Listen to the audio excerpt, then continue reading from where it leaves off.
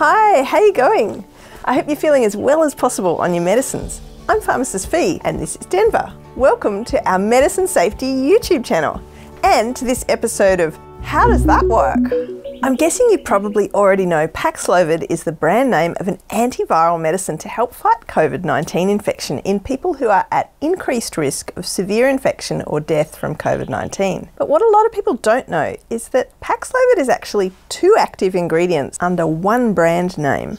And the two active ingredients are called nirmatrelvir, which is in the two pink tablets, and ritonavir, which is in the one white tablet. And if you have moderate kidney disease, please ignore it when I talk about the number of tablets in a Paxlovid dose being three, because your dose will be different. And if you're unsure about your exact dose, please chat with your doctor or pharmacist and they'll be happy to advise you about this. You probably already know that our body is mostly made up of cells, which are quite small, but viruses are even smaller, and a virus likes to multiply itself in a cell because the virus actually needs to use some of the chemical machinery in a cell to make copies of itself.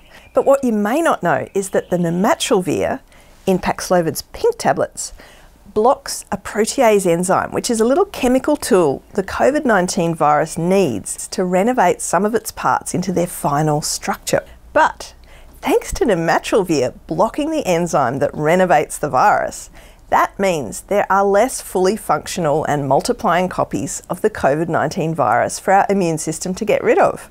So it becomes easier for our immune system to fight the COVID 19 virus. If nirmatrelvir can do all this, why is it so important to take the white ritonavir tablet with the two pink nirmatrelvir tablets? Well, if in some imaginary universe one active ingredient could sing a karaoke song to the other active ingredient, I reckon nirmatrelvir would sing Bette Midler's You Are the Wind Beneath My Wings to ritonavir because if we only took nirmatrelvir, our body would get rid of nirmatrelvir so quickly that we would not have enough of it in our body for it to work for us. But ritonavir has a special desirable medicine interaction which blocks an enzyme called CYP3A4, which normally gets rid of nirmatrelvir. So by doing this, ritonavir makes nirmatrelvir reach a higher concentration level in our body, which is essential for nirmatrelvir to actually work for us.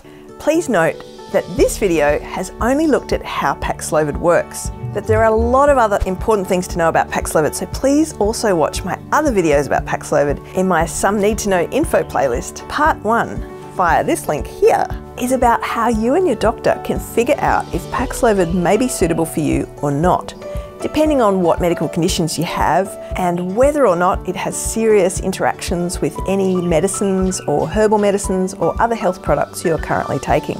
And part two covers how to take Paxlovid because it needs to be taken a very particular way to work well. If you have any questions about anything I've chatted with you about in this video, you're very welcome to leave a comment below this video. Please click the subscribe and like buttons below this video if you'd like to see more of these medicine safety videos. And Denver and I look forward to catching up with you again very soon here on this Pharmacist Fi Medicine Safety YouTube channel. Thanks for watching. Bye.